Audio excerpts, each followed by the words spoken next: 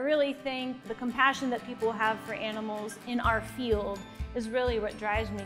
I'm what's called an applied ethologist, so I look at animal behavior and how they respond to management decisions.